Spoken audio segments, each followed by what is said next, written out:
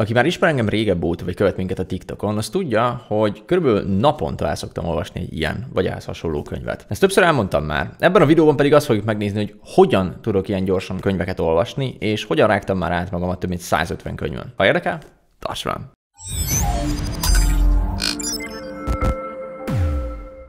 Tehát kezdjük az első, hogy hogyan választom ki azt a könyvet, amit szeretnék olvasni.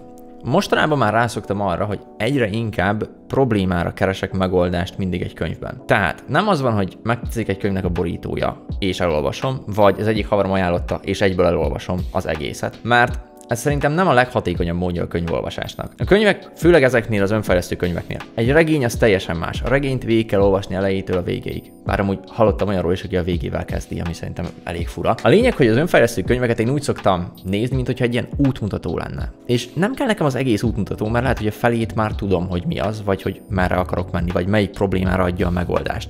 És nem ott vagyok elakadva. Ezért rászoktam arra, hogy mindig egy problémára keressek megoldást. Például ez a deep work, ez arra ad megoldást, hogy jobban tudjál fókuszálni. Tehát, hogy kevesebb idő alatt többet tudjál elérni mondjuk. De az egész könyv az nem teljesen erről szól, hanem itt az elején az első 40 oldal, az picit más, az csak felvezeti tanulmányok, stb. Az nem a konkrét lépéseket mutatja be. Úgyhogy én azt mondom, hogy mindig nézd meg, hogy mire kell neked. És hogyha egy barátod ajánl könyvet, vagy valami mentor ajánl könyvet, vagy mi ajánlunk könyvet, azt ír fel egy listára, tedd el, de hogyha nincsen most problémád, vagy nem érdekel az a könyv téged most jelen pillanatban, akkor ne olvasd el azonnal, hanem legyen ott a listán, és amikor úgy gondolod, hogy ó, van most egy problémám, előveszed a listát, megnézed, milyen könyvek vannak rajta, és kiválasztod azokat, amik potenciálisan megoldhatják ezt a problémát. Utána jön a következő lépés. Mindig meg szoktam nézni amúgy én is a borítóját. Tehát a borítóval kezdek, és ami rá van írva, nem feltétlenül csak a cím, mert a cím néha amúgy becsapós lehet. Tehát elolvasom azokat, hogy mi van itt, majd utána a harmadik lépés, hogy megfordítom a könyvet, és elolvasom, ami itt van a hátán.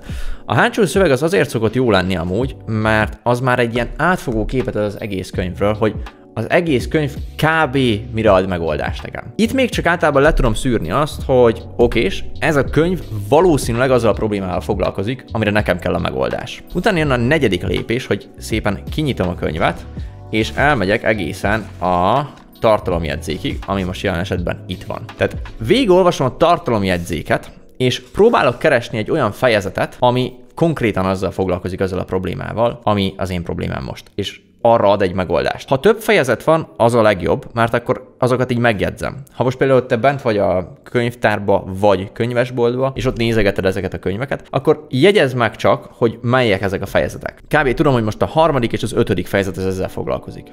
Akkor most a következő és az utolsó lépés a könyv választásban, ez pedig az ötödik lépés, hogy oda megyek konkrétan arra a fejezetre, ami jelen esetben itt van, és elolvasom a fejezetnek az első két oldalát. Tehát csak az első két oldalt. Tök mindegy, hogy nem kapok belőle hasznos információt, vagy, vagy full a közepébe vagyok a sztorinak. Elolvasom és megnézem, hogy ez a fejezet tényleg arra ad-e megoldást, amire én keresek. És ez alapján szoktam kiválasztani azokat a fejezeteket, amiket élnek érdekelnek engem. Ha nagyon sok időm van, és valaki azt mondta egy nagyon-nagyon szoros ismerősöm, hogy, vagy jó ismerősöm, hogy ez a könyv ez egy golden nugget, ezt mindenképpen olvasd el, stb. Akkor is úgy szoktam, hogy akkor viszont az összes, ami a tartalomjegyzékben szerepel címsor, az összesen végigmegyek, és az összes fejezet, tehát elolvasom majd az első két oldalát, és azokat a fejezeteket fejezem be, amik sokkal jobban érdekelnek engem.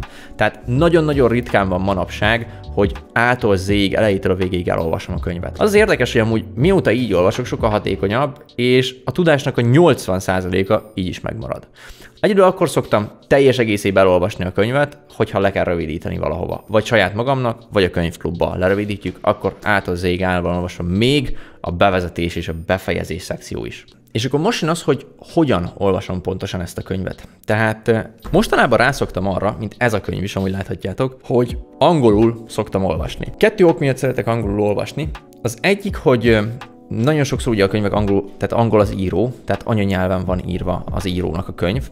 Emiatt nincsen meg a potenciális veszély, hogy mondjuk félrefordítják, vagy egy picit elcsúszik csak az egyik lényege az egész üzenetnek. Ezért jobban szeretek angolul, plusz a másik, amiből majd tovább megyünk, hogy ha angolul olvasom, akkor az angol hangos könyvek, tehát az angol audiobookok a könyvhöz, az nagyon nagy része fel van téve ingyenesen a YouTube-on. A magyar könyvekkel az a baj, hogy kevésről készült hangos könyv, ami készült is nem mindig a legjobb, vagy ha megvan, akkor fizetős, és legalább annyiba kerül, mint maga a könyv. Tehát akkor úgymond duplán kéne megvennem az egészet. Mert itt jön a következő, hogy én úgy szoktam könyvet olvasni, hogy egyszerre olvasom és hallgatom. Tehát Általában az AirPods-omat beszoktam dugni, vagy bedugom a fülembe, vagy egy fejhallgatót, vagy bármit, és az audiobookot elindítom a YouTube-ról. Másfél, vagy van, hogy kétszeres gyorsasággal. Attól függ, mennyire tudsz jól angolul, mennyire érted meg a lényegét. A kezdésnek jó az egyszeres is simán. És utána kinyitott pontosan ott a könyvet, ahol ugye kezdődik, vagy beletekersz, hogyha fejezetekre van osztva, stb. És ahogy hallgatod másfélszeresen, a szemeddel és az ujjaddal kezdett követni. Pontosabban nekem egy toll szokott általában nálam lenni, és kezdem követni így lényegesen, lényegesen gyorsabban tudok haladni, mint hogyha olvasnám, mert ugye olvassák fel nekem. Így a fejemben nem kell mondani, hogy, mert soka, sokaknak az a hibája, hogy amúgy olvasnak és közben mondják magukba.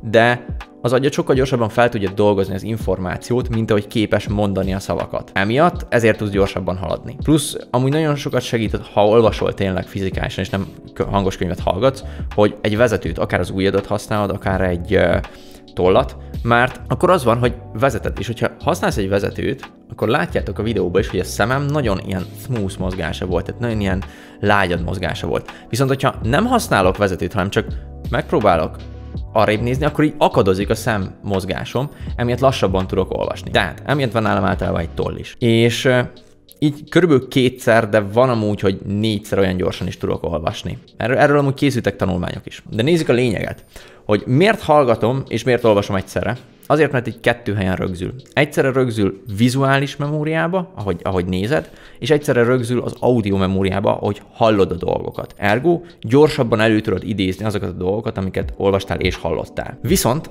jön egy probléma, mert olyan gyorsan hallod a szöveget, hogy nem tudod aláhúzni azokat a dolgokat, amik fontosak lennének számra. Tehát fizikálisan nincs idő, hogy aláhúzogasd így, mert, mert elhalad az egész. Tehát egy oldalt amúgy, ha kétszeres gyorsasággal hallgatsz, körülbelül tegyük fel egy perc. Ha egy perc, akkor egy száz oldalas könyvet 100 perc alatt tudsz kiolvasni, vagy elolvasni, az 1 óra 40 perc alatt, ami azért elég jó szerintem. És emiatt most jön a megoldásra, hogy én hogyan szoktam ezt megoldani. Nem alá szoktam húzni, hanem függőlegesen mellé. Tehát mondjuk megkeresem, megkeresem azt, ami alá van. Na, itt például alá van húzva. Látjátok? Itt függőlegesen mellé van húzva egy vonal. Tehát így van, hogy itt alá van húzva. Keresek még olyat, ami a másik fajta, mert van kettő vagy három fajta nekem. Aha. Ha valamikor egy-egy mondatot kell aláhúzni, vagy egy-egy szót kell aláhúzni, vagy kifejezést, azt alá szoktam húzni így. Látjátok?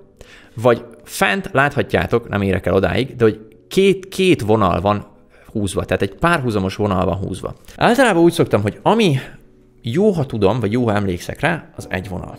Ami nagyon fontos információ, az párhuzamos vonal, tehát ez két vonal egymás mellett. És van az az ultimate legfontosabb, ami, ami gyakorlati példa, amit azonnal be tudnék építeni a mindennapjaimba, az pedig két vonal és egy nagy X mellette. Az baj, ezt most lehet nem fogom megtalálni, mert az körülbelül egy könyvben ilyen 10-20 darab szokott lenni, most így hirtelen nem találom meg ebbe. De az a lényeg, hogy nagy X-ekkel szoktam jelölni. Majd, hogyha elolvastam az egész könyvet, végighallgattam az audiobookot, vagy, vagy végighallgattam azokat a fejezeteket, ami az én problémámra ad megoldást, akkor átlapozom egyesével, tényleg nem, nem, nem így átlapozom, hanem tényleg egyesével átlapozom, és megnézem, hogy hova tettem X-et. Ahova X-et tettem, azokat újra elolvasom hangos könyv nélkül, és kiegyzetelem egy lapra, konkrétan ilyen checklist-szerűen, hogy ezek a fontos dolgok belőle.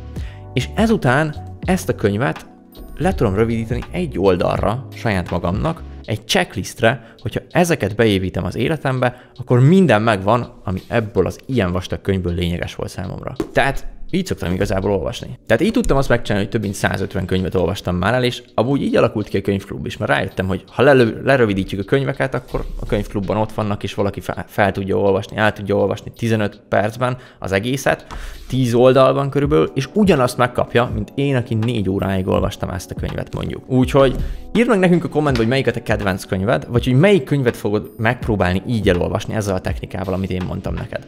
Aztán ha tetszett, akkor mindenképpen iratkozz fel a csatornánkra és nyomj egy lájkot, és találkozunk a következő epizódban. Sziasztok!